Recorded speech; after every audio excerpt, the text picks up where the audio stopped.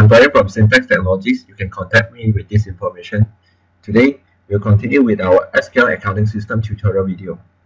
Today, I'll talk about upgrading your SQL into the latest versions. So, the first thing that you need to do is you need to go to your SQL and check what is your current version.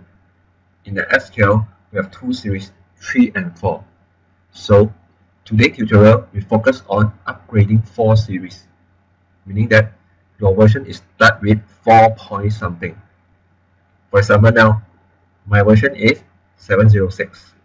So what you should do is log into your company, go to File, go to Backup Database. What I want to do is I want to do a backup for this company into my desktop. Done. So you should repeat the same step for all the company.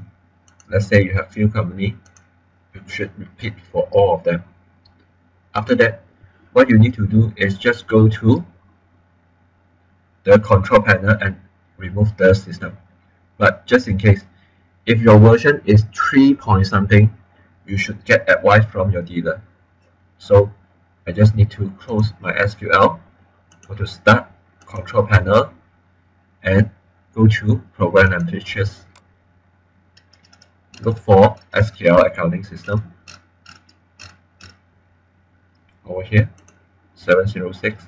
Just click Uninstall. Yes. So the system will uninstall your current version. And you should get your latest versions from your dealer, which will look something like this. This is a SQL accounting system setup file for 007.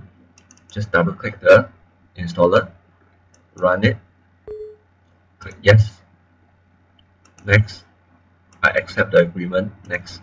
Okay, do take note over here is you should install into your previous destinations. So normally, SQL should be installed direct into your C drive it's called C drive eStream slash SQL accounting. Next, so it will ask you whether you want to replace it.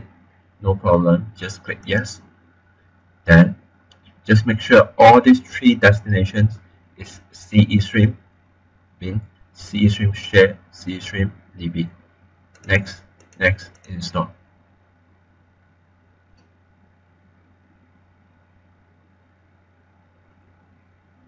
Okay, this should be very fast.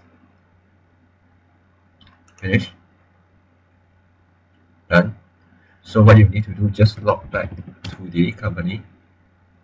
So that the backup file is only meant for security purpose. Just in case anything happen you still have your backup file. So after backup and restore or after you upgrade into a new version normally what you should do is you should go to tools analyze data integrity. Just click the start analyze. So it's just like re-indexing your whole database. So this is how easy it is to upgrade an SQL accounting system. Because the version will be released quite frequently, so you should learn the steps. That's all for today.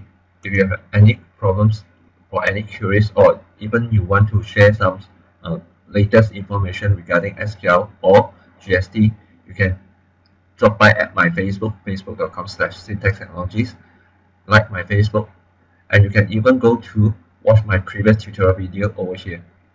So that's all for today. Thank you. I'm, I'm Bryan from Syntax Technologies.